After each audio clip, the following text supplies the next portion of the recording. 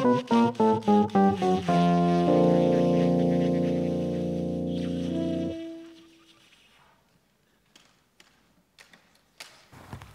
hello, yes. Hey, my name is Sihame, nice to meet you. I was asked to talk about the future today. And of course, I'm gonna start with the past. The past equals my parents. My parents, who migrated 45 years ago from Morocco to Belgium, provides a better future like thousands of others are doing today. And yeah, they came to here, so uh, to Belgium. By the way, I'm from Antwerp, not from Rotterdam. Yeah. And uh, so they came to provide us a better future. And you know, one thing was important for them: studying, working hard. So the day my parents arrived, they were told to learn how to speak the language. So they did, obviously. So when I told my father I was going to speak in English today, he was like, wait a minute. I left everything behind, learned how to speak Flemish, which is a very unlogical language for my parents. And now you have to adapt again and speak in English. And you know, he's right. I'm a minority among the minorities who, although today is part of the majority, has to adapt to a minority again. Got it? If you don't, it's okay, because it's irrelevant, okay? At least I'm trying to convince the people in the streets who are trying to touch my hair to see if it's a wig or not. It's not, don't touch it, it hurts, okay? Or what about the ones who ask me why I don't wear a headscarf and if I ever would? Or this is the best one. The ones who ask me how it's like to be an independent woman within the Moroccan community. 2015. Come on, give me a break and let me break it to you. I'm proud for who I am and of my roots. Proud to be a Belgian, Flemish, Antwerp, European, Moroccan, Muslima, ah, but far most proud to be a woman in my hands on mentality. I'm proud of our differences, but even more proud of what brings us together. And let's start with what's most important for us all. It all starts there education. Although I successfully completed my teacher training, got my master's degree in educa educational science afterwards, I decided not to take part of our educational system for several reasons.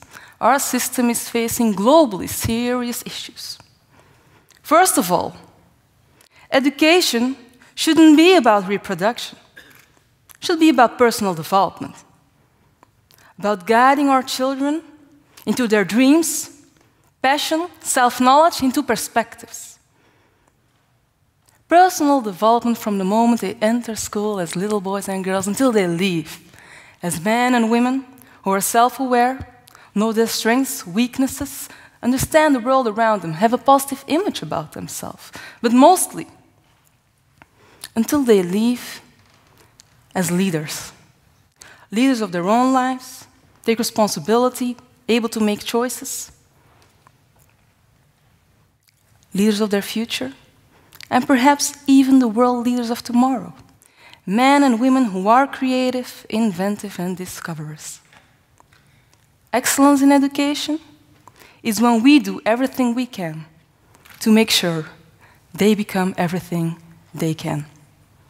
Education is like integration, it's a lifelong process, and we can only succeed if we work together. Ladies and gentlemen, globally we are facing enormous challenges. Let's take the consequence of our demographical change the last decade. We have a wonderful diversity in cities like New York, London, Rotterdam, Antwerp, most beautiful city of the world still, with more than 170 different ethnics living together, but still diversity not being embraced, rather seen as a problem instead of a benefit. Diversity is not a problem, it's a solution for so many things. We have a school dropout rate of almost 30% in the bigger cities. So many young people losing keys to integration, participation, language, network, culture, a job, and more important, a positive self esteem. Youth unemployment and child poverty that reaches a figure of one out of four. And two to five youngsters per week in Belgium only, who leave to join a certain caliphate named ISIS. Of course, this makes me sad. I have a love hate relation with Antwerp. because my love for Antwerp is so big, hate is just around the corner, like in every relationship. Rotterdam is quite comparable. A lot of these figures, I mean, also the beautiful Rotterdam has a staggering 65,000 people who live beneath the poverty line. And if I go back to my personal life, 29 years ago, I was labeled underprivileged due to my parents who didn't speak the language in the beginning, didn't finish high school, due to their financial situation. Still, today, I feel very privileged. It's even funny when I look back at my family's progression. I remember one day, I heard my sister screaming from her bedroom, so I went up and I saw her drying her hair with an ironing machine.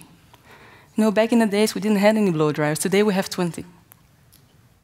So she got the nickname Iron Lady. And obviously, Iron Lady in my family doesn't have the same, is not the same as referring to Margaret Thatcher, of course. But still, none of these challenges are the responsibility of one factor more so, it's a collective responsibility, where the individual itself has its own responsibility as well. Again, referring to Thatcher, she believed in Tina. There is no alternative. I believe in Tia. There is always an alternative, because I'm a possibilist. I'm a critical optimist. I believe that our cities are breeding grounds of talent, of creativity, innovation, and cultural diversity. And if we really want our essence to count, we must invest in our new generation. We do that with ambition, vision, by recognizing their talents, by valuing them instead of underestimating them, by giving them back perspectives. And perhaps it's easier said than done, but we try, and we actually do. We bring theory into practice. With our movement, Let's Go Urban, where we rally around some thousand young people between 6 and 30 years old every week after school, and another 2,000 children in schools through passion. Passion for urban culture, dance, music, sports, acting, passion for entrepreneurship. Every week we program 45 workshops given by 50 coaches who make a difference between a technical coach and a personal coach.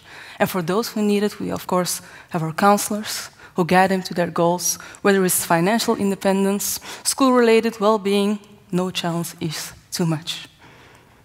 They all come to us because of their passion and not because they have a problem. Passion is colorblind. It goes beyond your ethnical, cultural, religious, or social economical background. Passion connects. It takes down all boundaries and it makes all of us equal. I guess that's why we have a reflection of society at Let's Go Urban. Natives, more than 100 different ethnics, Jews, Muslims, Christians, atheists, a nice gender diversity. We reach out to a wide spectrum of society and we welcome everybody. Don't get me wrong. We welcome everybody but we are not a social relief organization.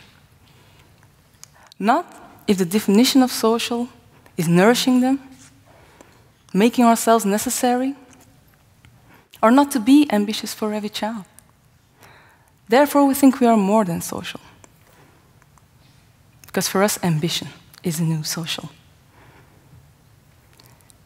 So initially, they come to dance or practice a sport but if they don't have a school degree, of course, we will run with them to get their degree. If someone has personal problems, of course, we will run with them to give them back their strength and positive self esteem. Three things count dreaming it, believing it, and achieving it.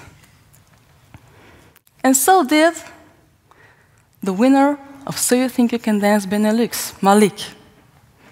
He started at Let's Go Urban, still is in Let's Go Urban, six years ago. We gave the right conditions, he worked hard, And today he can call himself the best dancer of the Benelux, inspiring thousands of others. If someone faints during training because they don't have enough money at the end of the month to buy themselves food, because no one was so ambitious to make themselves not necessary, then we will run with them. To give them the tools necessary on the short term. So they can feed themselves. Physically and mentally. For the long term. That is what matters to us. You know, seven years ago I started, me, myself, an idea, no money, no network. So today we are proud that we have a team next to us of 10 full time people in a social profit and 50 freelance coaches. Once member, today partner. They're sending me their invoices now. Yeah. That's how we love to come full circle, and that's our philosophy. Because I don't have any dancers here with me or not one of our entrepreneurs here with me, I made a little compilation just so you can see what our youth is capable of to create with their talents.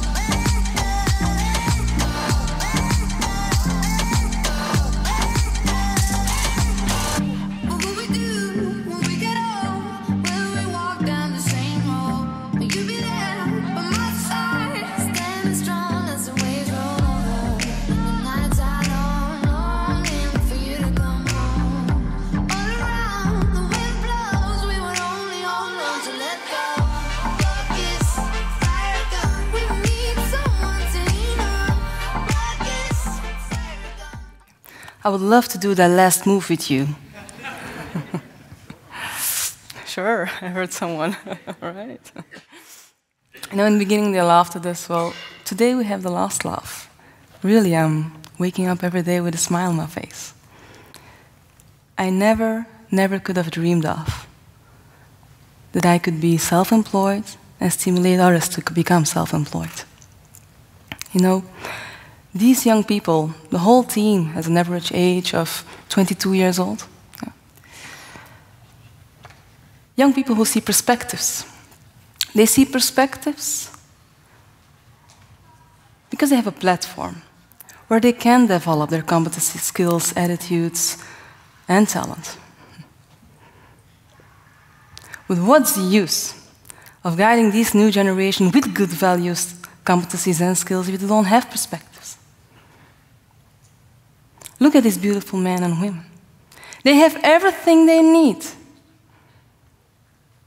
to succeed in their professional career. I'm not talking about a dance career, I'm talking about a career in our companies, in different disciplines and fields.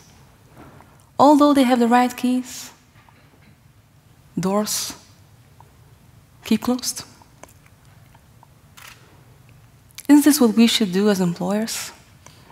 Believing in people, creating the right conditions to grow, set goals, to find a match between the values of these people and of our companies? No. We are all bound by that one thing that is the most valuable and untouchable fact time. Time has no beginning nor an end. But time gave us a beginning and an end.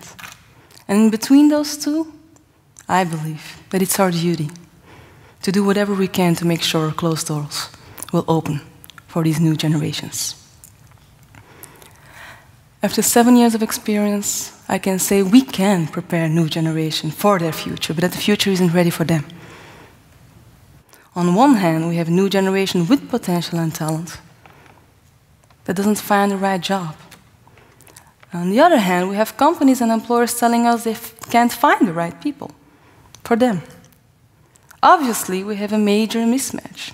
A mismatch between companies today and the people of tomorrow. A mismatch between open vacancies and so many people unemployed.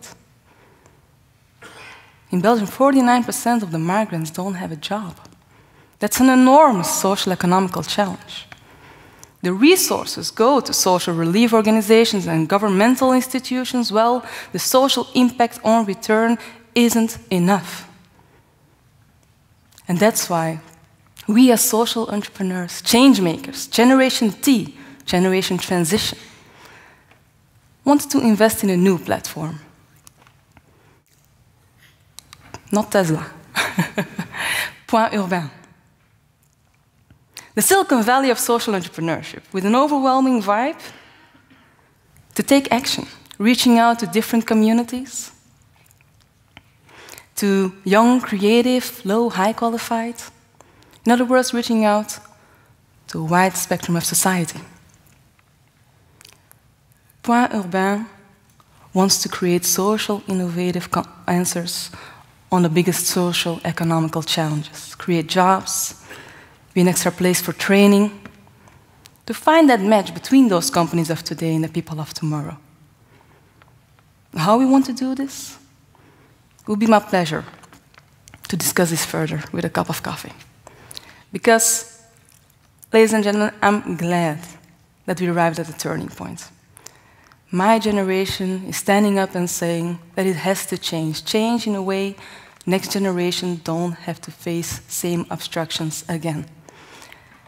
And it's my mission to convince all entrepreneurs to become social entrepreneurs. It's very hard. And we compare it with Tesla. We are the Tesla of social entrepreneurship disruptive, creative, innovating, sustainable, and the time is now. Just to round it up, I wrote a book, hashtag believe, about this generation transition. More important, the hashtag is to connect with each other, to connect with the world. So may I kindly ask you to tweet your hashtag believe, and of course tag TEDx single, into the world, tag myself if you want. If you don't, it's not to boost my ego, but it, just if you don't, then you will end up on the page of Justin Bieber. Okay? Ladies and gentlemen, I'm here to round it up. It was an honor to come to the beautiful Rotterdam to speak here, and I just want to wish you a lot of hashtag believe. And thank you so much for your attention. Thank you.